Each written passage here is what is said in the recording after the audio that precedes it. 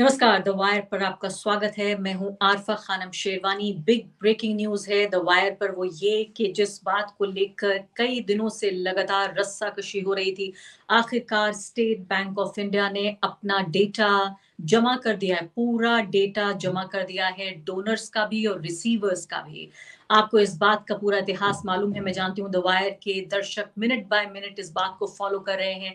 लेकिन सबसे बड़ी खबर इस वक्त की ये है कि किस तरीके से स्टेट बैंक ऑफ़ इंडिया का सुप्रीम कोर्ट ऑफ़ इंडिया को कई बार उनकी बाह मरोड़नी पड़ी। और अब आखिरकार वो यूनिक नंबर वो यूनिक कोड जिसके ज़रिए ये पता चल जाएगा कि किस कॉरपोरेट ने ये पैसा दिया है, ये पता चल जाएगा। और ज़ाहिर है, अभी एक और बहुत खास बात, बहुत अहम बात जो बाकी है वो ये कि इस यूनिक नंबर को किस पॉलिटिकल पार्टी के साथ जोड़ा, यानी कि इसकी मैचिंग करना अभी भी बाकी है। लेकिन इस यूनिक नंबर से साफ़ तौर पे ये पता चलता है कि किस कंपनी ने ये इलेक्टोरल बॉन्ड खरीदा। किस कंपनी को बेचा, इसका अभी भी बाकी है। मैं कह रही हूँ, इसकी मैचिंग अभी भी बाकी है। लेकिन सुप्रीम कोर्ट ऑफ़ इंडिया के कई बार आदेश देने के बाद, करारी डांट देने के बाद, बाह मरोड़ने के बाद, आखिरकार स्टेट बैंक ऑफ़ इंडिया ने इलेक्शन कमीशन ऑफ़ इंडिया को ये तमाम डेटा सौंप दिया है। अब ज़ाहिर है, ये पूरा काम लगा। अब ये ऑडिटर्स पत्रकार एक्टिविस्ट और वो तमाम लोग, जो भारत के लोकतंत्र को बचाना चाहते हैं, भारत के लोकतंत्र में जो पारदर्शिता की जिसको हमें ज़रूरत है, जिस ट्रांसपेरेंसी की ज़रूरत है, उसको वापस लाना चाहते हैं, वो तमाम लोग अब इस पर बढ़ चढ़ कर काम करेंगे और आप देखेंगे कुछ ही घंटे के भीतर, न सही तो कुछ दिनों के भीतर ही सब कुछ पानी का पानी, दूध का दूध और पानी का पानी हो जाएगा। तो बड़ी महत्वपूर्ण ये बात है जो मैं आपको बता रही हूँ, फ़िलहाल कि किस तरीके से अभी जो आखिरी आज की ही डेट आज की ही कहीं दिन सुप्रीम कोर्ट ने तय किया था कि आज एसबीआई को तमाम ये डेटा देना था ईसीआई को। इलेक्शन कमीशन ऑफ़ इंडिया को, इलेक्शन कमीशन ऑफ़ इंडिया को ये तमाम डेटा रख देना है अपनी वेबसाइट पर। तो एक लोकतंत्र में जिस पारदर्शिता की उम्मीद हम करते हैं, जिस पारदर्शिता की आरज़ू हम करते हैं, जिसकी बुनियाद पे लोकतंत्र के तमाम खंबे खड़े रहते हैं, वो इस वक्त हमारे सामने सुप्रीम कोर्ट के आदेश के बाद ही सही, तमाम तरह के बहाने लगाने के बावजूद सही, हर तरह से इसको डिरेल करने की कोशिशों के बावजूद भी सही की पटरी से किस तरीके से ये रेल उतर जाए, आपको मैं याद दिलाना चाहती हूँ कि स्टेट बैंक ऑफ़ इंडिया ने कहा था कि 30 जून तक ये डेटा मुहैया कराएँगे। दुख भी होता है, हँसी भी आती है कि किस तरीके से हर तरह से बहाना लगाने की कोशिश की, लेकिन सुप्रीम कोर्ट ने पूरे तरीके से इसको ठान लिया था कि अंजाम तक पहुँचा के रहेंगे, क्योंकि जब उन्होंने फरवरी के महीने में इस पूरे इलेक्टोरल बॉन्ड की, इस पूरी कार्रवाई को, इस पूरी प्रक्रिया को ही गैर संवैधानिक करार दे दिया और कहा कि नागरिकों के जानने का अधिकार, जो राइट टू इंफॉर्मेशन है, उसके खिलाफ है। इसलिए ये पूरा इलेक्टोरल बॉन्ड का धंधा अरुण जेटली के ज़रिए बीजेपी के अरुण जेटली के ज़रिए लाया गया था 2017 में और सुप्रीम कोर्ट ने 2019 में ही कह दिया था कि ये तमाम डेटा आपको बरकरार रखना है। यानी कि स्टेट बैंक ऑफ़ इंडिया से कहा था कि सारा डेटा आपको इसकी खबर रखनी है और अब गुजर जाने के बाद ये 2018 से लेकर आप सोचिए, छह साल बाद ये तमाम डेटा हमारे सामने है और हम ये विश्वास के साथ कह सकते हैं कि इसका बिल्कुल एग्जैक्टली exactly आधा जो फंड है, आठ हज़ार करोड़ से ज़्यादा ये मिला है भारतीय जनता पार्टी को। आधे में भारतीय जनता पार्टी और आधे में देश की तमाम पॉलिटिकल पार्टियाँ मिलाकर। इस वक्त इस मुद्दे पर खास चर्चा के लिए हमारे साथ इससे बेहतर मेहमान में सोच नहीं सकती थी कि आज के दिन इतने बेहतरीन वो व्यक्ति जिन्होंने, मैं कहूँगी, एक योद्धा जिसे क्रूसेडर अंग्रेज़ी में कहते हैं। क्रूसेड आप जानते हैं, बड़ी जो धार्मिक लड़ाइयाँ होती हैं, उनके लिए इस्तेमाल किया जाता है। लेकिन आज जिस तरह से लोकतंत्र में जो योद्धा लड़ रहे हैं, वो किसी क्रूसेड से कम नहीं है। हमारे साथ कोमोडोर लोकेश बत्रा मौजूद है इस वक्त। बुज़ुर्ग व्यक्ति हैं, लेकिन एक एक साल मुझे लगता है कि एक दिन उन्होंने अपनी ज़िंदगी का जिस तरह से जन सेवा में समाज सेवा में गुजारा है, सतहत्तर साल के हैं कोमोडोर लोकेश बत्रा, इस वक्त लाइव आपके साथ द वायर पर वो मौजूद हैं। ये वो व्यक्ति हैं जिन्होंने लगातार पिछले कई सालों से राइट टू इंफॉर्मेशन सूचनातिक के अधिकार की लड़ाई लड़ी। और एसोसिएशन फॉर डेमोक्रेटिक रिफॉर्म्स यानी एडीआर वो पार्टी जो सुप्रीम कोर्ट में गई स्टेट बैंक ऑफ़ इंडिया के खिलाफ उसने भी जो अपनी पिटिशन अपनी याचिका दायर की है वो कॉमिडोर बत्रा के ही उस डेटा पे बेस्ड है जिसकी बुनियाद पर ये तमाम जो आप देख रहे हैं पूरी कार्रवाई जो हो रही है ये उन लोगों में इनका शुमार है। बहुत बहुत स्वागत है आपका बहुत खुशी हो रही है मुझे कॉमिडोर लोकेश बत्रा आपका स्वागत करते हुए दबाए पर आप हीरो हैं। आप नायक हैं इस लोकतंत्र के, आप नायक हैं आज के दिन के भी, जब तमाम डिटेल्स तमाम आंकड़ा सरेआम हो गया है और आम जनता के जानने के अधिकार की रक्षा हो रही है। अभी फ़िलहाल जो ये स्टेट बैंक ऑफ़ इंडिया ने अब तमाम डेटा सौंप दिया है इलेक्शन कमीशन ऑफ़ इंडिया को आप क्या कहेंगे? देखिए, ये तो बहुत पहले हो जाना चाहिए था। जब हमारा जजमेंट आया था, उस वक्त कुछ दिन ही दिए गए थे। और जब फिर ये सुनवाई हुई ग्यारह तारीख को मैं कोर्ट के अंदर था। बेसिकली उनका ये आर्ग्यूमेंट था कि हम लोग खुद मैच करेंगे तो उसमें टाइम लगेगा। तो कोर्ट ने कहा, जो भी आपके पास रॉ डेटा है, वो दे दीजिए। पर रॉ डेटा का मतलब सारी इंफॉर्मेशन दीजिए जिससे कि जो आपने करने की सोची थी मैच करने का डोनर्स का और पॉलिटिकल पार्टीज़ का, आप वो दीजिए। नंबर दे दीजिएगा, बाकी करते रहेंगे हम लोग। तो जो पहले इन्होंने लिस्ट दी, खाली डोनर्स की सेपरेट लिस्ट थी फिर पॉलिटिकल पार्टीज़ की थी। हमको रिलेट करना बड़ा मुश्किल सा था काम।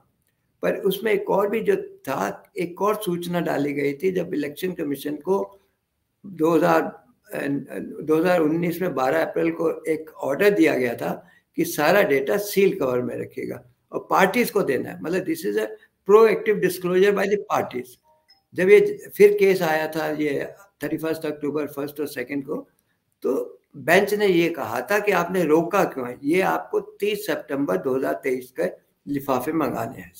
That means that is party से नाम डोनर सब मांगे गए थे। अब जो इलेक्शन कमीशन ने, एक तो जो एसबीआई का डेटा आया था वो डाला और दूसरा जो पॉलिटिकल पार्टीज़ के जो लिफाफे आए थे, वो 11 तारीख को सुप्रीम कोर्ट के अंदर पूरे बॉक्स में बना के खोले गए थे। क्योंकि इलेक्शन कमीशन को पता नहीं सील कवर में। तो सबके सामने, दोनों पार्टी के सामने इन्होंने वो लिफाफे खोले। उसके बाद यहाँ पे कि स्कैन जो किया गया, उन डॉक्यूमेंट्स का जो सुमोटो डिक्लेयर किया था पार्टियों ने, वो भी सुप्रीम कोर्ट ने किया। उसके बाद स्कैन डॉक्यूमेंट दिए गए ताकि उसके बीच में कोई हेरा फेरी ना हो सके। वो भी उन्होंने वेबसाइट पे डाल दिया। तो अब इसके बाद ये जो आज आया है, इससे बहुत आसान हो जाएगा, फिर भी हमको, क्योंकि दोनों के नंबर आए नंबर तो मैच करने ही पड़ेंगे। जो वो कह रहे थे हम लोग करेंगे। अब हमारे लिए आसान है क्योंकि अभी भी मीडिया ने बिना इन नंबर के आप देखिए कितने सारे लोगों ने उसको निकाल लिया पिछले कुछ दिनों में। तो ये एक बहुत बड़ा कदम है ये हमारे लोकतंत्र की एक बहुत बड़ी जीत है। मैं ये बहुत बड़ी जीत है लोकतंत्र की आपकी बड़ी जीत है हर उस नागरिक की मेरी भी जीत है हर उस नागरिक की ये जीत है जो ये समझता है कि एक लोकतंत्र की बुनियाद पारदर्शिता के आधार पर होना चाहिए और कॉमेडोर बत्रा, मैं आपको बताना चाहती हूँ कि आज ही प्रेस कॉन्फ्रेंस की है। सोनिया गांधी, राहुल गांधी, उनकी पूरी टीम, खड़गे साहब, इन सबने मिलकर और कहा है कि किस तरह से अंग्रेज़ी में जिसे कहते हैं लेवल प्लेइंग फ़ील्ड यानी कि बराबरी का का पायदान नहीं मिल रहा है खिलाड़ियों को खेलने के लिए। अगर इलेक्शन को एक खेल मान लें तो आप समझिए कि जो कांग्रेस पार्टी है, उसके अकाउंट फ्रीज कर दिए गए हैं। वो ये कह रहे हैं कि हम अपने अकाउंट से पैसा नहीं निकाल सकते, हम अपने कैंडिडेट से, जो हमारे खुद के कार्यकर्ताओं का जमा किया गया पैसा है, हम विज्ञापन नहीं दे सकते, हम पोस्टर नहीं छपा सकते, हमारे कार्यकर्ता, जहाज़ का टिकट तो दूर की बात है, हमारे कार्यकर्ता ट्रेन का टिकट नहीं दे सकते। एक ऐसी पोलिटिकल पार्टी जो हज़ारों, लाखों, करोड़ में खेल रही है वो पॉलिटिकल पार्टी उसने कांग्रेस पार्टी के, आप सोचिए 200-300 करोड़ रुपए का अकाउंट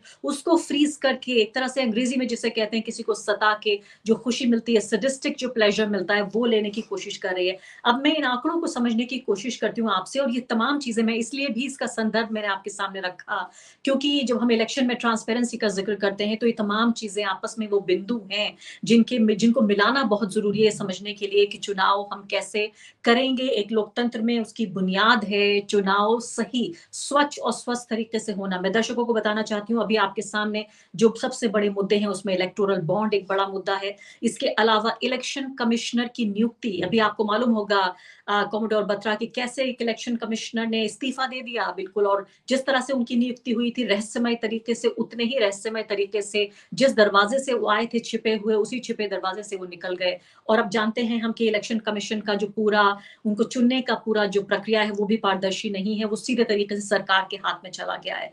तो ईवीएम को लेकर तीसरा मुद्दा है तो इलेक्टोरल बॉन्ड इलेक्शन कमिश्नर्स का चुनाव, तीसरा है ईवीएम को लेकर, चौथा है किस तरह से अब ये कांग्रेस पार्टी और के जो अकाउंट्स फ्रीज कर दिए गए इन सब चीज़ों को मिलाकर हम देखें तो ऐसा लगता है कि चुनाव हो क्यों रहा है? ये तो कोई खेल हो रहा है। चुनाव नहीं हो रहा है, एक तरह की मैं कहूँगी एक झूठी कोई एक्सरसाइज हो रही है, जिससे पहले से नतीजा पता है, अब की बार 400 पार। अब मुझे आप बताइए कॉमोडोर बत्रा कि अब ये डेटा हमारे सामने है, हमारे पास यूनिक नंबर भी है, लेकिन अभी सबसे अहम चीज़ जो करनी है वो है इन दोनों का मिलान करना, जिसे हम मैचिंग कहते हैं मैचिंग ऑफ़ डेटा जिसके लिए एसबीआई ने कहा था कि उसको 30 जून तक का समय चाहिए। पहली बात तो क्या आपको उनकी बात पे विश्वास है कि वाकई चार महीने का समय चाहिए था? जिस उस यूनिक डेटा को उन्होंने फ़ौरन दे दिया कुछ ही घंटों के भीतर कोर्ट की डेडलाइन रखते हुए? मैं अपने तजर्बे से कहता हूँ, जब ये उन्होंने समय मांगा था इट वॉज़ लाफेबल हंसने की बात थी हंसने पर क्योंकि आज इतना बड़ा बैंक अब जो खाली यहाँ नहीं, पूरे वर्ल्ड में भी फैला हुआ है, वो एक क्लिक पे, एक क्लिक करते हैं तो आपकी स्टेटमेंट निकल आती है। और इनका जो सॉफ्टवेयर बनाया गया है, वो एक टीसीएस ने बनाया और ये खाली स्टेट बैंक दूसरे बैंकों को मदद करता है इस पार्टनरशिप के साथ कि कैसे करना दूसरा आरबीआई की कुछ कंडीशन ये होती हैं कि जब भी आप ऐसा सॉफ्टवेयर बनाते हैं, से जो आपके अकाउंट्स होते हैं F D account different type के अकाउंट आरबीआई की गाइडलाइन होती है। इस केस में मैंने बहुत छा छाना आरबीआई की गाइडलाइन नहीं जब इलेक्ट्रो बॉन्ड के बारे में किया था। तो ये कैसे बनाया गया था, वो तो मैं शुरू से हमने, आज नहीं, शुरू से इस मुद्दे को उठाते आए हैं।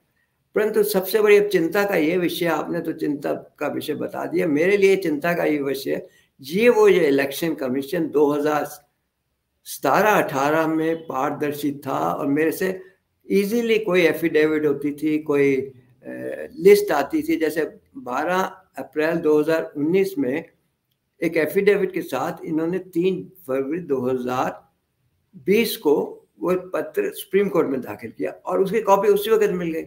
उसमें एक ये था कि उन्होंने 105 पार्टीज़ की लिस्ट दी थी। 105 पार्टी तो रजिस्टर्ड ही नहीं थी, उसके लिए एलिजिबल ही नहीं थी। तो उसको हमने काफ़ी खोजबीन की तभी से। आज उसके ऊपर ज़्यादा प्रश्न उठ नहीं रहे कि जो पहले लिफाफे आए थे, उसमें 105 लिफाफे थे। लास्ट जो आखिरी सील कवर थे, उनके तो एड्रेस भी नहीं थे। तो हम लोगों ने पहले उसमें किया, मैंने स्टेट बैंक से पूछा, कुछ नहीं हुआ। उसके बाद कोविड आ गया तो कोविड के इमीडिएट बाद इसके ऊपर इसकी इन्वेस्टिगेशन की गई। तो वो पार्टीज़ के पास जब क्या उनको हमारे बैंकों में पैसे नहीं, जो पत्र हमारे पास इलेक्शन कमीशन से आए थे उसके हिसाब से हमने ये समझा था कि हर पार्टी को वो लिफाफे में देना तो अब वो कितने लिफाफे हैं जिसमें कुछ भी नहीं मिला होगा? और इसका कोई ज़िक्र नहीं आ रहा। दूसरी बार जो अब हुआ था तो मैंने जब आरटीआई किया था, इसलिए मैं आपको इसलिए इलेक्शन कमीशन कैसे वो पारदर्शिता थे आज टोटली ही ओपेक है। हिंदी में आप क्या बोलेंगे, आप बताइए। तो वो मेरा अपना तजर्बा। तब मैं जाके एफिडेविट पेटिशन सब मिल जाती थी। क्योंकि पहला जब उन्होंने पत्र लिखा था, जो आज का हमारे सुप्रीम कोर्ट में, वो 26 मई 2017 का लेटर है। अच्छी बात है कि सुप्रीम कोर्ट ने उसी का इस्तेमाल किया जो सबसे पहला लेटर था, जिसमें लिखा था ये रेट्रोगेट स्टेप है। इससे शेल कंपनी आएँगी ट्रांसपेरेंसी खत्म हो जाएगी। उसके बाद काफ़ी चेंजेस आए से long history I not will focus on this अब इस एग्जैक्टली सेम प्रोसेस में, इस बार जो ऑर्डर आया था सुप्रीम कोर्ट का रिज़र्व ट्वेंटी सेकेंड नवंबर को उन्होंने 19 नवंबर तक का टाइम दिया था इलेक्शन कमीशन को कि वो लिफाफे जमा कर दीजिए रजिस्ट्रार जुडिशियल के पास 19 तारीख तक। तो उसी पुराना प्रोसेस को लेके मैंने 21 को एक आर किया था इलेक्शन कमीशन पे। मैंने उनको खाली सूचना कम मांगी थी, सूचना ज़्यादा दी थी। मैंने उनको बताया ऐसे ऐसे आपने दिया था, मैंने वो 105 की लिस्ट लगा दी थी। मैंने उनको यहाँ तक कहा था कि देखिए, अभी स्टेट बैंक ने अभी जो मेरा आखिरी पत्र आया उसमें लिखा है कि सिर्फ़ 25 पार्टी ऐसी हैं जिन्होंने अपने स्पेशल अकाउंट खोले हैं। आज की डेट में एलिजिबल है। तो उनको ये भी नहीं सो, सोचें कि अगर लिफाफे आएँगे तो 25 ही आए। ज़्यादा छब्बीस आ जाएँगे। कई बार क्या होता है स्टेट यूनिट अलग से भेज देते हैं रिपोर्ट मैंने उनको ये भी कहा था कि आपके जो सील कवर है वो आज प्रूव कर रहे हैं। उस सील कवर को इलेक्शन कमीशन को कुछ नहीं पता। क्या लिखा गया है? कितने लोगों ने लिखा है? तो जब ये जजमेंट आई थी तब से ही मैंने काफ़ी मीडिया ने भी लिखा था मेरे विचार। मैंने ये कहा था कि अगर लीगली जाया, आप जाएँगे तो ये एक करेंसी नोट की तरह के करके तो कोई ले लेता है। रास्ते में अगर किसी ने ए एक्स ने एक करोड़ का खरीदा बी उसके पास आया कि मैं आपको एक करोड़ बीस लाख देते हैं, आप ये कागज़ मुझे दे दीजिए, कोई प्रूफ तो है नहीं। ऐसे करते करते जब वो पार्टी के पास जाएगा तो पार्टी कह दे कि मुझे नहीं पता कहाँ से है वो लेटर बॉक्स में डाल गया दरवाजे के नीचे। ये आर्गुमेंट हमने उसमें भी रखा है सुप्रीम कोर्ट में। कि टेक्निकली डोनर्स का जो नाम है वो पॉलिटिकल पार्टीज़ को भी नहीं पता चलना चाहिए। पर बैकडोर से हो जाएगा लिंक क्योंकि जो इतना पैसा दे रहा करोड़ों में वो ये तो जानना चाहेगा किस पार्टी को दिया। तो ये नहीं है पर अगर आप बिल्कुल कानून के हिसाब से जाएँ तो उनको नहीं पता लगना चाहिए था।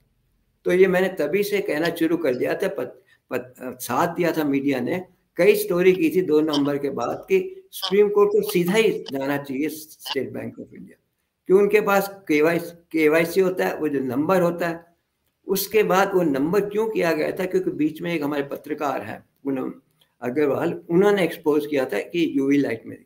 पर जब वो था तो इंडियन एक्सप्रेस के एक रिपोर्टर ने गवर्नमेंट से कहा कि क्विंट में रिपोर्ट छपी है, क्या सच है? तो उसी वक्त उन्होंने प्रेस मीडिया रिपोर्ट की लिखी थी जो मैंने अभी ट्वीट में भी डाल दिए हैं वो कागज़। तो जो जहाँ कैश होगा वो कभी नहीं कैश करेंगे जब तक वो मैच सिस्टम में मैच नहीं कराएँगे। इसका मतलब वो सिस्टम है। तो ये जो कुछ मिनटों में जो इंफॉर्मेशन देनी चाहिए थी वो ये तीस जनवरी जून तक का मांगना तो इसका मतलब नई सरकार आ जाएगी नई पार्लियामेंट बन जाएगी तब हाँ, देना बड़ा क्लियर बात था। तो क्लियर बात आम नागरिक अच्छे तरीके से समझता है और जो हमारे दर्शक और भारत का नागरिक है उसकी आदत इतनी खराब हो गई है। अब जब से ये सूचना मिली है वो कह रहे हैं हमें पीएम केयर्स का भी डेटा चाहिए उसमें भी हमें पारदर्शिता चाहिए हमें ईवीएम में पारदर्शिता चाहिए। मैं तो कह रही हूँ लोगों की आदत इतनी खराब हो गई कि अब एक डेटा क्या मिल गया? उनको सारा डेटा चाहिए। अब सरकार सोच रही देखिए अगर आप सोचे जनता ठीक मांग रही है। अगर सरकार ही कोई चला रही है चाहे पीएम केयर चला रही है तो उनको कोई इतराज नहीं होना चाहिए ट्रांसपेरेंट करने में। ट्रांसपेरेंसी तभी तो मैं कहता हूँ मैं कोई आरटीआई सूचना माँगता हूँ ताकि इंफॉर्मेशन आए हम रिफॉर्म लाए। सिस्टम में रिफॉर्म तभी आएगा। एक ही पल में वापस आती हूँ। अभी जो दर्शक नए जुड़ रहे हैं उनके लिए मैं बता देती हूँ कि कितनी बड़ी खबर है ये। भारत के लोकतंत्र के लिए आम जनता के लिए पत्रकारों के लिए आपके जैसे लोगों के लिए कॉमोडोर बत्रा जिन्होंने इतना बड़ा ये क्रूसेड इतनी बड़ी मैं कहूँगी ये धर्म युद्ध आपने लड़ा है ये। और इस वक्त सुप्रीम कोर्ट ऑफ़ इंडिया के आदेश के बाद, जिस तरह से करारी डांट के बाद, बाह मरोड़ने के बाद, तमाम तरह से आप देख लीजिए कि किस तरह से सजा एक तरह से देने के बाद, पूरे तरीके से सुप्रीम कोर्ट ऑफ़ इंडिया के कहने के बाद, स्टेट बैंक ऑफ़ इंडिया ने जिसकी भाषा लग रहा था कि बिल्कुल सरकार का कोई वकील बोल रहा है। यानी आप ये समझिए कि जब सरकार के वकील बोल रहे थे और एसबीआई के वकील बोल रहे थे, दोनों जब कोर्ट में थे, आप यकीन जानिए, मुझे समझ में नहीं आ रहा था कि मैं किस वकील को सुन रही हूँ, जो हमारे लोकतांत्रिक इंस्टीट्यूशन हैं डेमोक्रेटिक इंस्टीट्यूशन उन्होंने इस तरह से मुझे लगता है सिर्फ़ घुटने नहीं टेके हैं, बल्कि लगता है सजदा कर रहे हैं। बिल्कुल सर, जो माथा है वो टेक दिया है नीचे कि समझ में नहीं आ रहा था कि ये सरकारी वकील है और ये एक बैंक के वकील हैं। आखिर इनकी भाषा क्या है? कितना अलग अलग बोल रहे हैं? कुछ समझ में नहीं आ रहा था। तो इस तरीके से मैं अपने दर्शकों को बताना चाहती हूँ कि आखिरकार वो तमाम डेटा जिसकी हमें दरकार थी, जिसकी हमें हमें इंतज़ार था कि वो यूनिक नंबर के साथ, वो यूनिक नंबर जिसके जिसके बारे में हम दवायर पर आपको कई बार बता चुके हैं। फिर से मैं बताना चाहती हूँ कि किस तरह से खास तरह की रोशनी में एक ऐसा नंबर इलेक्टोरल बॉन्ड्स पे लिखा होता है, जिसके ज़रिए बैंक को ये पता होता है कि ये ये जो बॉन्ड है, ये किसने खरीदा है? तो मान लेते हैं कि एक कंपनी ने ये बॉन्ड खरीदा, उस पर एक यूनिक नंबर लिखा होता है, जिसको एक खास तरह के टॉर्च एक खास तरह की रोशनी से आप उसे पढ़ सकते हैं। अगर आप उसे नंगी आँखों से पढ़ने की कोशिश करें तो आप नहीं देख पाएँगे और उस डेटा उसी जो, वो जो नंबर होता है यूनिक कोड जो होता है, वो उस पोलिटिकल पार्टी के पास होता है, जो उसे भुनाना चाहती है। तो वो जो पॉलिटिकल पार्टी है, वो उसके ज़रिए उस इलेक्टोरल बॉन्ड को भुना लेगी। तो एक ने इलेक्टोरल बॉन्ड खरीदा, दूसरे इलेक्टोरल बॉन्ड भुनाया। अब जब स्टेट बैंक ऑफ़ इंडिया ने जब डेटा सौंपा तो वो डेटा बिना उस यूनिक नंबर या यूनिक कोड के बिना, वो जो खास सीरीज़ नंबर है, उसके बिना सौंपा। यानी कि हमारे पास एक तरह का डेटा था, दूसरी तरह का डेटा एक डिब्बा बंद, दूसरे डिब्बा बंद। अब इन दोनों डिब्बों को, दोनों बक्सों को, इनके नंबर्स को मिलाना एक तरह से इतना मुश्किल खेल था, जो सिर्फ़ ऑडिटर्स ही कर सकते हैं। ऐसे ऑडिटर्स जो वाकई इतने खिलाड़ी हों ऐसे लोग हों जिनको सब कुछ मालूम हो। इतना सारा डेटा, इतनी बड़ी तादाद में इस डेटा को जो पूरे के पूरा सोलह हज़ार करोड़ से ज़्यादा का ये पूरी जो एक्सरसाइज हुई 2018 से लेकर और 2024 तक के बीच, यानी जब तक के सुप्रीम कोर्ट ऑफ़ इंडिया ने वो आदेश नहीं दिया, जिसके बाद से इसको पूरे इलेक्टोरल बॉन्ड्स को गैर संवैधानिक करार नहीं दिया गया, उस लम्हे तक भी इलेक्टोरल बॉन्ड्स खरीदे जाते रहे और यहाँ पे दर्शकों को दोबारा बताना चाहती हूँ आप बहुत समझदार हैं, मुझे बहुत गर्व है भारत की जनता पे भी कि जिस तरह से वो लोग, जो लोकतंत्र की प्रक्रिया में यकीन रखते हैं कॉमडोर बत्रा आपको हैरानी होगी कि वायर के दर्शक पल पल की जानकारी रख रहे हैं। अभी भी देखिए, मैं आपसे बातचीत कर रही हूँ, आठ हज़ार से ज़्यादा लोग हमें लाइव देख रहे हैं। आप सोचिए कि आप एक ऐसे हॉल में बैठे हैं, जहाँ आठ हज़ार से ज़्यादा भीड़ पब्लिक आपको सुनने के लिए आई है कि आखिर कॉमोडोर बत्रा को कहना क्या है? वो क्या कहना चाहते हैं? सुनने के लिए आपको आठ हज़ार से ज़्यादा दर्जनों की तादाद में, सैकड़ों की तादाद में लोग फ़िलहाल कमेंट कर रहे हैं आपको सुनने के लिए यहाँ पर बेकरार हैं। लोग जानते हैं, लोग समझते हैं, जितनी सूचना लोगों के पास पहुँच रही है, उससे ज़्यादा सूचना की भूख उनके अंदर, प्यास उनके अंदर और ज़्यादा जिज्ञासा बढ़ रही है। अब ये समझिए आप कि किस तरह से पूरा ये 2018 से लेकर अब तक का पूरा खेल अगर हम देखें, ये इलेक्टोरल बॉन्ड्स का तो इससे साफ़ तौर पे ये पता चलता है कि किस तरह से भारत भारत का जो लोकतंत्र है, उसको पूरे एक भ्रष्ट सिस्टम के तौर पर चलाने की कोशिश की गई, क्योंकि हमने देखा कि कैसे ईडी यानी एनफोर्समेंट डायरेक्टरेट प्रवर्तन निदेशालय, इसके अलावा इनकम टैक्स डिपार्टमेंट इसके अलावा आप ये सोचिए जो कोर्ट है सीबीआई है, इन सब के ज़रिए, इन एजेंसियों का इस्तेमाल करके ब्लैकमेल किया गया उन कंपनियों को जो पैसा नहीं देना चाहते थे। आज एक मालिक के ऊपर केस हुआ, कल वो मालिक जेल गया परसों उस मालिक ने इलेक्टोरल बॉन्ड खरीद लिया, उसके अगले दिन वो मालिक रिहा हो गया। इधर से भी जीत हो गई, उधर से भी जीत हो गई। ये पूरा खेल समझने की जो पूरी कोशिश है, ये इलेक्टोरल बॉन्ड्स के ज़रिए समझा जा सकता है। दुर्भाग्यपूर्ण बात है। ये आज जश्न का माहौल भी है, उसके साथ साथ मैं कहूँगी ये दुर्भाग्यपूर्ण बात है कि भारत के लोकतंत्र को 140 करोड़ लोगों के भविष्य को एक तरह के मज़ाक में तब्दील कर दिया गया, एक तरह के खेल में तब्दील कर दिया गया कि एक पोलिटिकल पार्टी एक वन पोलिटिकल पार्टी सिस्टम चल गया। अब कमोडोर बत्रा मेरा अगला सवाल आपसे ये होगा कि क्यों आप रिटायर होने के बाद अपनी इस उम्र में आप क्यों आखिर लगे हुए हैं इस काम में? क्यों आप ये लगातार दिन रात जाग कर और मेहनत करके आप आराम कीजिए, आप बागों में सैर कीजिए, आप विदेश यात्राओं पे निकल जाइए, अपनी सेहत का ध्यान रखिए, क्यों आप यहाँ पर अपना मगज खपा रहे हैं? देखिए, उस बात को कहने से पहले जो अभी थोड़ा पहले आप दर्शनों को, दर्शकों को बताया, वो यूनिक नंबर जो है बैंक के सिस्टम में होता है। तो जब पॉलिटिकल पार्टी को शायद ना बताओ पर वो जब जमा कराने जाती है, जब तक तो वो मैच नहीं करेगा मतलब जहाँ जिस ब्रांच से बिका और जिस ब्रांच से किया, तभी वो कैश किया जाता है क्योंकि कोई नकली फौज ना लिया इसलिए यूनिक नंबर बैंक के सिस्टम में यही तो बड़ी बात है। और दूसरा ये कि जो इन्होंने तीस जून का बात कही, वो तो मैं कह ही चुका हूँ कि क्यों की। अब आपने पूछा, मैं क्यों कर रहा देखिए, मैं, मैंने एक, ये पैशन होता है। जब मैं नेवी में भी था मैंने छत्तीस साल कमीशन ऑफिसर किया सेवेंटी वन बार में पार्टिसिपेट किया। तो बहुत सारे ऐसे प्रोजेक्ट लिए। एक मैंने एक बुक लिखी थी, जिसको कहते हैं आउटरीच कम्युनिटी लर्निंग प्रोग्राम वो राष्ट्रपति जी ने की। अब उसके ऊपर तब उन जमाने में अटल बिहारी जी हमारे प्राइम मिनिस्टर से उन्होंने मुझे देखा कहा इसका हिंदी चाहिए, क्योंकि ये बहुत यूजफुल किताब है। सडनली मेरा जो पोर्टफोलियो था नेवी में, एक बदल के मुझे community development officer to chief of naval staff मतलब पूरी नेवी के कोई प्रोग्राम होते उसका अध्याय ये था, कोई भी डिजास्टर जब होता है तो एक तो ऑफिशियल रिक्वेस्ट आती है एड टू सिविल पावर दूसरे देश में outreach program and we should have check list कुछ करना इसके मामले में कुछ एक्सपीरियंस भी मिला, मैं इसके बाद में मुझे भेजा गया, जब उड़ीसा में सुपर साइक्लोन आया तो उसको एक बड़े ढंग से हमने किया था कि एक हमारा नेवल हम वो जो प्रोग्राम तभी लें जो आप सस्टेन कर सके आखिर तक। तब वहाँ हम काफ़ी सामान लेके गए थे, एक कैंप लगाया था, हमने स्टार्ट किया प्रोग्राम एक ढंग सिस्टमेटिकली, क्योंकि जो बुक मैंने की उसमें एक सर्वे फॉर्म भी था कि किसको क्या ज़रूरत है। और हमने देखा कि बड़े बड़ी कंपनियों के आते हैं, वो सिर्फ़ फेंक के चले जाते हैं। हमने सिस्टमेटिक सर्वे करा के किसी को बर्तन चाहिए, किसी को कपड़े उसके बाद दूसरा एक्सपीरियंस आया जब कारगिल हुआ। मुझे मालूम था, मुझे फिर वहाँ भेजा गया तो इंटरेक्ट विद ट्रुप्स जब वापस आ रहे थे 99 में।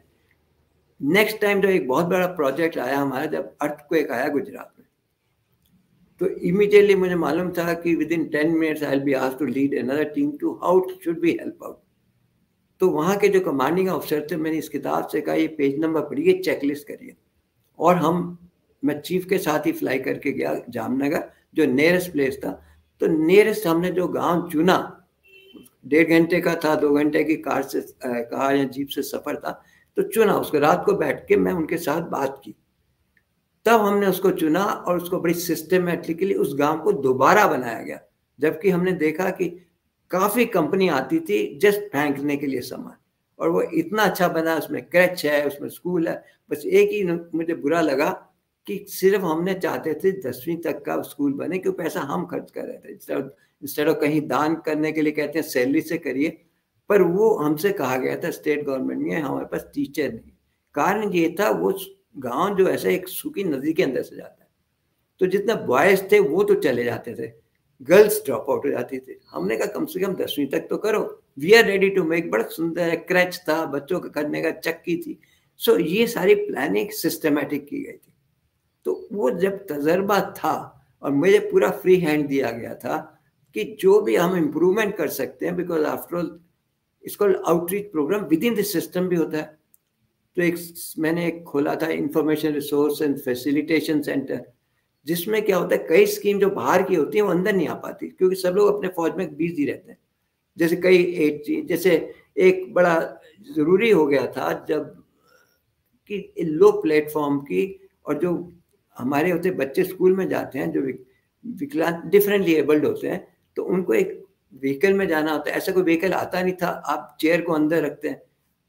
किसी ने कहा, आप ले ही नहीं सकते सेंक्शन मैं एक महीने का टाइम मांगा उनसे। North Block South Block ministry finance मैंने कहा, ये देखिए, ये ज़रूरत है। कहते, वो तीनों फोर्सेज ने, किसी ने डिमांड नहीं किया। मैं, उन्होंने नहीं किया, पर ये ज़रूरत है। जब आपको यार जब हॉकिंस आए थे तो कोई हमारे पास ट्रांसपोर्ट नहीं थे उनको ट्रांसपोर्ट करने के लिए। एक क्रूड से गाड़ी में उनको लेके गया। फिर मैंने उन दिनों ये भी किया, जब मैं सर्विस में ही था I went and met this officer जो दिल्ली गवर्नमेंट के मैंने कहा, आप देखिए लो प्लेटफॉर्म के बनवाइए, क्योंकि आपके जो सीढ़ियाँ हैं काफ़ी ऊँची हैं बसों की। तो पूरा प्रोजेक्ट था कन्विंस किया उनके चीफ सेक्रेटरी को भी चाहिए। बट ये पार्ट ऑफ़ में वर्क नहीं था। एक प्रोएक्टिव कई चीज़ें हैं जो दिमाग में आती हैं और मुझे पूरा ऊपर से सर, अपने बॉसेस का साथ दिया था। और ये चीज़ एक ऐसी थी कि वो साथ चलती रही। और अब वो एक आपका पैशन बन जाता है। इससे पहले भी हम कई प्रोजेक्ट चलाते थे गोवा में, जैसे लिटरेसी प्रोग्राम है, वाइस चांसलर आते थे, पढ़ाई करते तो इट्स इन ए सिस्टम। तो अगर आप देख रहे हैं, एक न्याय मांग रहे हैं, और मेरी आरटीआई जो होती है, वो सिर्फ़ रिफॉर्म के लिए होती है। एवरीथिंग इज़ ए रिफॉर्म आज ये जो इलेक्ट्रल बॉन्ड का ये रिफॉर्म आया आज की डेट में मैं इसको समझता हूँ कि एक सिस्टम में पार्टी भागीदारी करके सरकार में हमने एक रिफॉर्म लाया आप कह रहे हैं सुधार ला रहे हैं आप सिस्टम में सुधार ला रहे हैं। कॉमेडोर बत्रा यहाँ पर दोबायर के दर्शक कमेंट सेक्शन में आपका शुक्रिया अदा कर रहे हैं हमारा शुक्रिया अदा कर रहे हैं दोबायर का। उनको करिए शुक्रिया अदा क्योंकि वो समझ रहे हैं कि एक ये हर अपने जो सिटीजन होते नागरिक का कर्तव्य है कि सरकार में भागीदारी करे अगर वहाँ कोई आरटीआई एक ऐसा तरीका है कि आप सूचना लेते हैं, तभी आप भागीदारी कर सकते हैं। जब सूचना मिलती है, कभी ठीक आया या खराब आया, उसको कैसे करना पहले सरकार के पास ही जाइए। नहीं सुनते तो फिर आप मीडिया में जाइए, मीडिया नहीं होता तो कोर्ट में लेके जाइए, क्योंकि सुधार चाहिए सबके लिए। ये जनहित का होता है। जैसे ऐसे देखिए, मेरे तो बड़े लंबे लंबे प्रोजेक्ट हुए। जैसे आप सुधार का कहिए तो हिंदी के आरटीआई एक्ट में एक मिस्टेक निकली दो हज़ार आठ में, जो बिल्कुल चेंज, जो हिंदी का वर्जन था। उस मामले को मैंने प्रधानमंत्री को मेल भेजी, पर उसमें छह सात साल लगे जबकि लॉ मिनिस्ट्री ने फाइनली वो चला गया कि तैतीस की गलतियाँ। तो power of RTI act to correct the RTI act that was एक एग्जांपल तो उसको भी समय लगा, पर बाइलिंगुअल आ गया। एक और केस हुआ, जैसे विदेश में हम आए हुए थे आरटीआई उनको एलिजिबल जो भी इंडियन भारतीय हैं, चाहे वो एन आर आई जब तक वो इंडियन सिटीजन है दे कैन फ़ाइल आरटीआई पर इनको ऐसा तरीका ही नहीं बनाया था कि उसे दस रुपये फ़ीस दी जाए। उस प्रोजेक्ट को मैं सात साल लगे कि अब आप ऑनलाइन एक इलेक्ट्रॉनिक पोस्टल ऑर्डर ले सकते हैं फिर ऑनलाइन पोर्ट वो वो भी हो गया। तो ये सुधार करने में टाइम लगता है पर हो गया क्योंकि पुश करना पड़ता है छः छः सात साल लग जाते तो आज बड़ी खुशी की बात है कि जो मैंने किया कुछ तो उसका फ़ायदा हुआ। हल मिला तो और बहुत सारे है कि नागरिक क्या मैं अपने लिए एक सेटिस्फेक्शन समझता बाकी तो मिला ही मिला सबको। बिल्कुल। और इसके अलावा जो अलग अलग लोग हैं, जो मैसेजेस कर रहे हैं, वो कह रहे हैं, एक बंकट सुरवासे हैं, वो कह रहे हैं ग्रेट सर आप ग्रेट हैं। इसके अलावा कह रहे हैं, त्रिलोकनाथ सैनी, वो भी आपको सलाम कर रहे हैं। जैसी नोरहोना वो कह रहे हैं more power to the wire and आपके लिए भी बात कर रहे हैं। मंगल यादव कह रहे हैं, आपको सल्यूट कर रहे हैं। इसके अलावा कवियत्री के नाम से वो ये कह रहे हैं कि वोट हम दे रहे हैं, लेकिन जा कहीं और रहा है, ये भी बात समझ में आ रही है ईवीएम को लेकर जो पूरा एक अविश्वास का माहौल बना हुआ है। इसके अलावा जगदीप लैली कह रहे हैं sir my salute to your great achievement आपके लिए कह रहे हैं। और हाँ, मेरी तरफ़ से भी उनको सलाम कहिए आपके द्वारा मेरा सलाम तक पहुंचाइए। जी हाँ और भी भागीदारी आज जो मेरी बात को मान रहे हैं इसका मतलब उनके विचार हम सबके साथ एक जैसे हैं। नहीं तो वो हाँ, वहाँ नहीं सुनते और बोलते हैं। बिल्कुल अजय सिंह परिवर्तन आ रहा है लोग हाँ, समझ रहे हैं। बिल्कुल। अजय सिंह कह रहे हैं प्रोटेक्शन है ये वोटर के अधिकारों का। और कह रहे हैं, दूसरे हमारे दर्शक हैं, वो कह रहे हैं कि अब की बार 400 पार का जो नारा लगा रही है पॉलिटिकल पार्टी वो हर तरीके से क्यों इधर से उधर हत्याना चाहती है ईवीएम से लेकर इलेक्शन कमीशन से लेकर, तमाम तरह की बातें। अब ये जैसी नोरहोना ये कह रहे हैं कि अभी फ़िलहाल जो ये चुनाव है, ये जनता वर्सेस नरेंद्र मोदी का चुनाव है, जनता बनाम मोदी का चुनाव है। पीएम घोष ये कह रहे हैं कि commodore Batra India will always remember you आपके बारे में इस तरह की बातें संजीव कुमार सेठी भी कह रहे हैं कि आ, हमारे जज्बे को सलाम कह रहे हैं और दवायर का भी शुक्रिया अदा कर रहे हैं मेरा भी शुक्रिया अदा कर रहे हैं। इसके अलावा तमाम लोग मैं देख रही हूँ कि जो पूरा माहौल है कमेंट सेक्शन में अगर आप ये देखिए वो एक तरह से खुशी का माहौल है एक तरह का मैं कहूँगी छोटा मोटा जश्न का माहौल है क्योंकि इस दिन तक पहुँचने के लिए कितने लोगों ने यहाँ काम किया उनमें से आप भी एक यहाँ पर हमारे सामने शामिल हैं और कई लोग यहाँ पर ये कह रहे हैं कि मैं ये भी कहना चाहती हूँ कि सोचिए, वो लोग भी जो हमें ट्रोल करते हैं, वो भी आके कमेंट सेक्शन में ट्रोल कर रहे हैं। जवाबदेही मांग रहे हैं मेरे जैसे पत्रकारों से, वो कह रहे हैं, आप बदायूं कांड पे आप रिपोर्टिंग क्यों नहीं कर रही हैं? मुझे बहुत अच्छा लगा उन्होंने चाहे ट्रोलिंग के लिए मुझसे सवाल पूछा। इसका मतलब भारत का जो आम नागरिक है, सवाल करना भूला नहीं है। सिर्फ़ फ़र्क इस बात का है कि जो पत्रकार सरकार से सवाल कर रहे हैं, उनसे सवाल पूछा जा रहा है। आपका ये सवाल, इन लोगों का ये सवाल ट्रोलिंग करने वाले लोगों का सवाल सरकार तक पहुँचना चाहिए। आप नरेंद्र मोदी से सवाल कीजिए, उनके मंत्रियों से सवाल कीजिए, उनके सांसदों से सवाल कीजिए, अपने इलाके के विधायकों से सवाल सवाल कीजिए। मैं कहती हूँ काउंसलर से सवाल कीजिए। जो जनता के ज़रिए चुने गए लोग हैं, उनसे सवाल कीजिए। मैं तो आपके सवालों का जवाब दूँगी ही, जो भी लोग यहाँ आके बदायूं की बात कर रहे हैं। बिल्कुल बदायूं का जो पूरी घटना है, वो अपने आप में दर्दनाक है, निर्दयी तरीके से बच्चों की हत्या की गई है। लेकिन कानून अपनी कार्रवाई करेगा और सबसे बड़ी बात जो यहाँ याद दिलाना चाहती हूँ वो ये कि किस तरह से जो क्राइम की घटनाएँ हैं, जो जुर्म की घटनाएँ हैं, उनका बदतरीन सांप्रदायिककरण जो हो रहा है, वो भी एक तरह से सिर्फ़ और सिर्फ़ वोट के लिए इस्तेमाल करने की कोशिश है। उत्तर प्रदेश की घटना है। उत्तर प्रदेश में बीजेपी की सरकार है। बीजेपी की सरकार के तहत उत्तर प्रदेश की पुलिस काम करती है। तो आप मुझसे पत्रकार से किस बात की जवाबदेही मांग रहे हैं? आप जवाबदेही इस हत्याकांड की अपनी सरकार से मांगिए, अपने विधायक से मांगिए, अपने मुख्यमंत्री से मांगिए, वहाँ की पुलिस से मांगिए। आप मुझसे क्या ये ज़बरदस्ती मैं कहूँगी कि जवाबदेही मांग रहे हैं? लेकिन ये भी मैं जानती हूँ कि तरीका है। मुझे इस बात का कोई दुख नहीं है। मैं यहाँ पे जवाब देने के लिए तैयार हूँ। कॉमोडोर बत्रा, ये पूरा माहौल जो बनाया गया है, ये जिस तरह से पूरे तंत्र पर कब्जा करके, मुझे पता नहीं कि आपकी कितनी दिलचस्पी है इस बात को समझने में, जानती हूँ आप जैसा व्यक्ति जो पूरे पॉलिटिकल सिस्टम को आपने कहा रिफॉर्म करने का काम कर रहा है, वो उसको अच्छे तरीके से समझता है कि इस पैसे का इस्तेमाल कहाँ किया जाता है। ये जो हज़ारों करोड़ रुपए जायज़ और नाजायज मिल रहा है। एक पॉलिटिकल पार्टी को आधा इलेक्टोरल बॉन्ड का पैसा मिल रहा है, मिल गया है। इसका इस्तेमाल इसी तरह के प्रोपेगेंडा में होता है कि उन पत्रकारों को ट्रोल किया जा रहा है, जो पत्रकार सरकार से सवाल पूछ रहे हैं। अब यहाँ आप मुझे बताइए, कई दर्शक मेरे यहाँ कॉमेंट करके ये भी पूछ रहे हैं कि जो पैसा मिलना था पॉलिटिकल पार्टियों को, खासकर भारतीय जनता पार्टी को, वो तो चुनाव में मिल गया। तो अब ये पूरी फजीहत, ये पूरी कवायद किस लिए है? मैं आपको ये बताना चाहता हूँ, जो कल ही हमने आपकी वायर ने भी छापा है, मेरी आखिरी एक और आरटीआई थी, अभी काफ़ी बची हुई है। जजमेंट के बाद मेरी छह सात आरटीआई जा चुकी है, और डेटर कल जो निकल के आया है कि जजमेंट के रिज़र्व होने के बाद सरकार ने आठ हज़ार तीन सौ करोड़, एक करोड़ के जो वैल्यू के हैं, आठ हज़ार तीन सौ नए छापे हैं।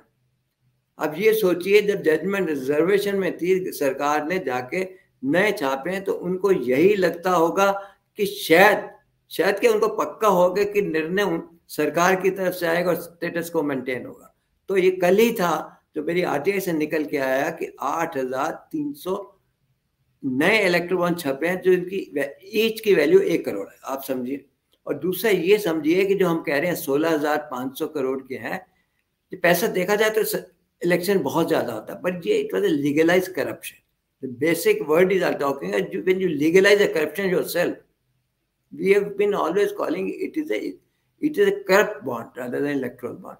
और सिर्फ़ इसमें क्या हो रहा है कि 95 परसेंट तो प्रिसाइसली 94.67 परसेंट जो बिके हैं वो वन करोड़ वाले बिके तो कौन खरीदा हुई बाइंग इट इस सीधी सोच की बात हमें अभी भी ये पता है कि कौन से शहर से ये वन करोड़ वाले बिक रहे हैं हमने वो भी एनालाइज कर लिया डाटा टॉप फोर और सारे कहाँ पे ये इनकैश हो रहे हैं?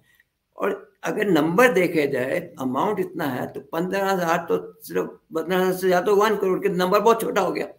दूसरा ये है कि सरकार कहती थी उनतीस ब्रांच हैं जो हमारी अथराइज है। ट्रू है, उसमें कोई गलती नहीं पर मेरा एनालिसिस तीस, जब पूरे तीस फ़ेज़ खत्म हो गए 2018 से जनवरी 2024 तक, हमने देखा कि सिर्फ़ 19 ब्रांच ऐसी हैं जिन्होंने आज तक इलेक्ट्रल बॉन्ड बाकी किसी ने नहीं। और जिन्होंने जहाँ से एनकैश हुए मतलब जहाँ से रिडीम हुए जहाँ से पैसा लिया पॉलिटिक उससे चौदह है। उनतीस से सीधा शॉर्ट कर दीजिए। बाकी ये करिए कि सिर्फ़ पंद्रह हज़ार कुछ जो है, जो बिके हैं, वो सिर्फ़ एक करोड़ के बिके हैं। तो नंबर अपने आप ही गिर गया। अगर सोलह हज़ार पाँच सौ है तो सारा तो ninety five percent one crore का। तो जब वैल्यू में तो ज़्यादा दिखते हैं, पर नंबर में तो कम हो गए ना। सिर्फ़ पंद्रह हज़ार कुछ है, एक करोड़ वाले। तो ये था कि इतने जो खरीद रहा है करोड़ों में वो कौन हो सकता है? एक तो के, और दूसरा ये था 2018 में इलीगल चीज़ें खोली गई। मैं बताता हूँ कैसे। जब इन्होंने नोटिफिकेशन 2 जनवरी दो 2018 को बनाया नोटिफिकेशन था कि साल में चार बार होंगी। वो भी जबकि आरबीआई आरबीआई गिवन अप उन्होंने बहुत कोशिश की, इन्होंने आरबीआई का काफ़ी इंसल्ट की, जैसे वो लिखते थे गवर्नर साहब, उसका जैसे जवाब दिया जाता था। परंतु पहले ही उन्होंने मार्च में शुरू कर दिया। जब जनवरी का, मार्च में इनल्यू कैसे कर सकते हैं। और रीजन भी बड़ा था कि इन्होंने अभी तक, मेरे पास वो भी डेटा है कि ऐसे कि थोड़ी थोड़ी इंस्टॉलमेंट में हमारी प्रेस जो नासिक में बन रहे तो फटाफट डिलीवरी हो रही थी कि मार्च की सेल हो जाए। अब तैयार नहीं थे नहीं थे, पर कानून तो ये कहता ना कि अप्रैल में होगा जनवरी का आपने मिस किया। फिर मई में ऐसा आया, उसके लिए मैं थोड़े से ब्यूरोक्रेट्स की कदर करता हूँ। फाइलों में ये निकल के आया कि एक रिक्वायरमेंट आई कि मई में भी खोल दिया जाए क्योंकि कर्नाटक इलेक्शन आ रही। है पर कानून में इन्होंने ये बनाया था कि चार बार खोलेगा जब लोकसभा की इलेक्शन होगी तो तीस एक्स्ट्रा दिन जा, जाएँगे जो सरकार तीस दिन को बांट के भी खरीद सकती दस दिन पंद्रह दिन सेल कर सकती अब 2018 तो उसमें आता नहीं था। फिर इन्होंने मई में खोल दिया। मई में एक और घटना हुई। दो ऐसे पार्टी ने दिल्ली में रिपोर्ट किया आखिरी दिन कि हमारे दस दस करोड़ के जो हमने बॉन्ड खरीदे हैं, वो हमारे कैश नहीं हो रहे। हमने सोचा कैलेंडर डेज़ की जगह वो वर्किंग डेज़ है। उन्होंने कहा। आप देखिए स्पीड की अभी, मैं इसलिए इस बात को लाया हूँ कि स्पीड वहाँ से सीधा गया चेयरमैन के ऑफ़िस स्टेट बैंक के। कहा, दिल्ली की branch main branch parliament seat से वहाँ गया। वहाँ से मंत्रालय गया। ये रिक्वायरमेंट कि ऐसे दो ग्राहक कह रहे हैं तो आप क्या निर्णय देते निर्णय क्या हो तो क्योंकि स्टेट बैंक जब पूरी स्कीम बन रही थी, उसका भागीदारी था, इन्होंने डिसाइड किया था। तो उन्होंने कहा, सरकार ने उनको, चले वन टाइम एक्सेप्शन देते हैं, पर वो कम से कम अगर वर्किंग डेज़ के बाद विद इन द लिमिट चौबीस था आखिरी। तो वो दस करोड़ के जो थे, वो जो है एनकैश किए गए। तब हमें शक था कि किस पार्टी के हो सकते हैं। तो इतना कौन कोशिश करता? लाइटनिंग स्पीड में दिल्ली से अब बॉम्बे के चेयरमैन चेयरमैन से मंत्रालय मंत्री से चेयरमैन चेयरमैन से बैंक को जाता है वर्किंग आवर्स में। अब रिसेंटली वो दस करोड़ के जो नोट थे डेट के साथ ऑलरेडी वेरीफाई हो गया कि वो रूलिंग पार्टी के पास अभी नितिन सेठी ने जो किया रिपोर्ट क्योंकि सारी रिपोर्ट तो हमारे पास थी, पहले हमने हब पोस्ट में की थी मेरे कागजों से। तो अब ये भी हो गया किसके पास गए तो देखिए कितना आउट ऑफ़ वे गए। कौन जाएगा कि बैंक कहेगा कैश चेयरमैन का ऑफ़िस में इन्वॉल्व होगा, फिर मंत्रालय इतनी फ़ाइल को करेगा। मैंने वो अभी ट्वीट में लगा दिए सारे कागज़। आप देखेंगे मेरी ट्वीट में कैसे इसका निर्णय हुआ। तो ये चीज़ें मई में इलीगल हुआ। फिर उसके बाद एक और जब बिहार इलेक्शन हुई, तब यही कहा उन्होंने कि ये क्यों हुआ? मन, छोटे वाले अपने जो अधिकारी हैं, उन्होंने कहा कि अगर चाहते हैं तो आप कानून को बदलें। नोटिस आप पावर में हैं नोटिस उन्होंने लिख के दिया। पावर सेक्रेटरी ने कहा, अभी तो हमने बनाया, हम नहीं कर सकते। पर चार दिन के बाद इस फ़ाइल में आया कि ऊपर से मतलब समझ गए मैं क्या कहना चाह रहा हूँ ऊपर से ऑर्डर आया खोल दीजिए कॉम्पिटेंट अथॉरिटी ने खोल दिए गए कानून बिना बदले कानून भी नहीं बदले और उसको खोल दिया गया। जबकि उस वक्त सेक्रेटरी ने भी मना किया था कि अभी तो हमने नोटिफिकेशन उठाया। तो ये हुआ था और उसके बाद में इन्होंने कहा अब तो ट्रेडिशन बन गए तो बिहार इलेक्शन में नवंबर में भी खोल दिया गया। ये सारे इलीगल इलीगल इसमें भी एक क्वेश्चन बनते हैं कि how did you open against the law ये 2022 के नवंबर में जाके इन्होंने अमेंडमेंट की, जिसमें कहा कि पंद्रह दिन एक्स्ट्रा उससे पहले जो सेल हुई है लीगल उस पर भी तो क्वेश्चन होना चाहिए। जी कमोडोर लोकेश बत्रा बहुत बहुत शुक्रिया दवायर के साथ जुड़ने के लिए और लंबे समय तक हमसे बातचीत करने के लिए। तमाम चीज़ें आपने खुले तरीके से बिल्कुल साफ़ साफ़ आम लोगों की भाषा में समझाई और पूरा कमेंट सेक्शन आपको सलाम कर रहा है आपका शुक्रिया अदा कर रहा है आपके काम के लिए दवायर भी आपको सलाम करता है शुक्रिया अदा करता है। सलाम भी तो, सबको दीजिए।